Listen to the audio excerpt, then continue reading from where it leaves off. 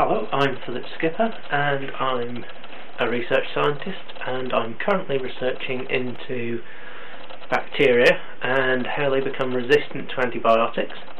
I'm also looking at what do we use when the antibiotics don't work anymore and one of the options is bacteriophage and this picture here is showing you a bacteriophage you might have come across before, it's one of the first ones found what they are is they're bacterial viruses and by entering the bacteria and reproducing they kill the bacteria.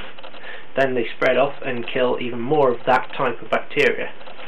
The important thing about them is that they only kill one type of bacteria. So unlike antibiotics when they're used, which will kill lots of different types of bacteria, can give you an upset stomach, these problems, bacteriophage don't do that. They just kill their specific type of bacteria. I'm going to be looking, the bacteria I'm looking at is Acinetobacter baumannii, which isn't a common name, but it's one of the superbugs. And so I'm looking at it for two reasons.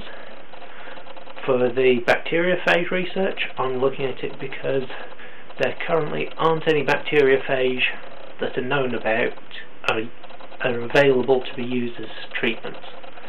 Um, from an antibiotic point of view, I'm looking at it because it's coming close to being resistant to every single antibiotic there is, and this is worrying.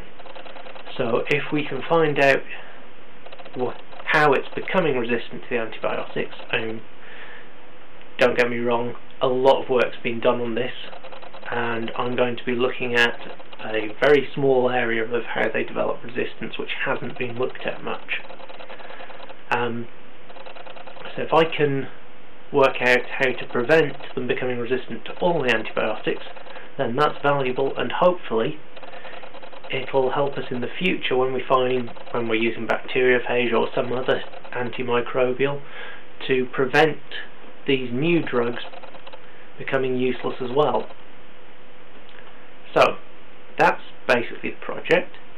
Um, if I can get enough SciFund funding, uh, the university will waive my bench fees, which is quite a substantial amount of money. They're willing to do that, and it'll keep me going for the next year. What can you do? Well, if you've got this far, you'll have had a look at the website and had a look down the rewards, and maybe you're thinking, well, I can't really afford to support this but I think it's really worth doing. And you're humming and you're eyeing. Well, if you can't afford to support it financially, then please tell your friends.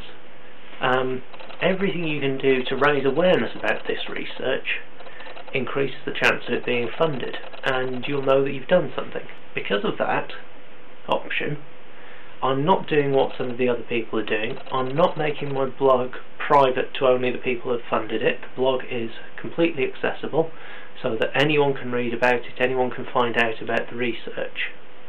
Um, if you do decide to fund, well there's a list of rewards um, if you want and thank you for listening and I hope you find my project one that's fundable.